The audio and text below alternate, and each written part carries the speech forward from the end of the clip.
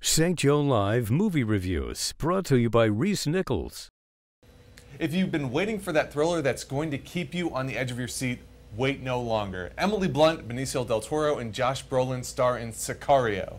In this movie, Blunt plays Kate Macer, an FBI agent recruited by a smooth talking government official for a task force against the escalating war on drugs. Led by the Shalloway Alejandro, the team travels back and forth across the U.S. Mexican border using one cartel boss to flush out a bigger one.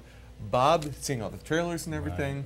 what did you think going into this, and what did you think of the movie? Well, going into it, you think it's going to be a straight ahead story, kind of like Traffic and something like right. that. It's not. This is a very unique perspective. It's a straightforward narrative, nothing really totally dramatic in terms of storytelling here. Just a very hard story, very dense story to tell.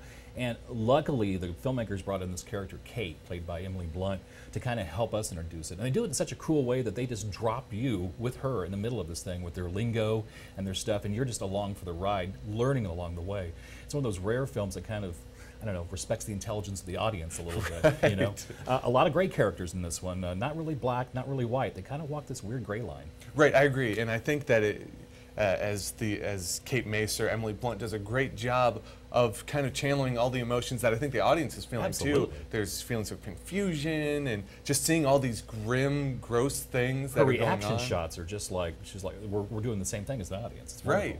It's incredible, and I think Benicio del Toro gives a great performance as kind of this shadowy guy. We don't know is he good, is he bad, why is he doing the things that he's doing? Mm-hmm. It's just uh, just fantastic. Even in the last frames of the film, we really don't know who's good and who's bad, and it just keeps the audience guessing all the way to the end. This is, again, a straightforward approach to a very tough subject, but an excellent job along the way, too. This is about four and a half out of five Joes for me. Right. I'm going to give this one four and a half Joes out of five. To read my review, check out St. Joe Live in Friday's edition of the St. Joseph News Press. And you can catch me at 99.3 FM and Tuesdays at the Front Row Film Series at the East Hills Library Theater. And you can catch us next week as we review the Joseph Gordon Levitt movie, The Walk. Until then, I'm Andrew Gog. I'm Bob Schultz. We'll see you later.